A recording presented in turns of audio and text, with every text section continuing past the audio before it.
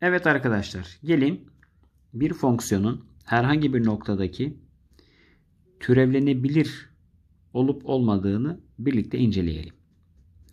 Verilen f fonksiyonunun x eşit bir noktasındaki türevini incelemek için öncelikle şunları bilmemiz gerekiyor. f fonksiyonu x eşittir bir noktasında sürekli olması lazım. İkincisi bu fonksiyonun bir noktasındaki sağdan ve soldan türevlerinin de eşit olması gerekiyor. Evet, bir fonksiyonun sürekli olabilmesi için bu fonksiyonun soldan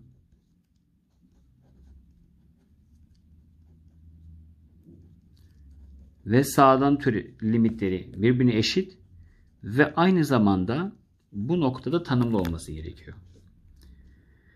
Bir noktasında soldan yaklaşırsak arkadaşlar hemen buna bakalım.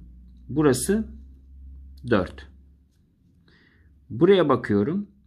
Burası 1. Burası 3. Burası da 1. Etti 5. Soldan ve sağdan limitleri birbirine eşit olmadığı için bu fonksiyonun bir noktasında limiti yoktur. Limit olmadığı için aynı zamanda sürekli değildir. Sürekli olmayan bir fonksiyonun o noktadaki türevi yoktur. Yani şıklarda yoktur ifadesini göreceksiniz.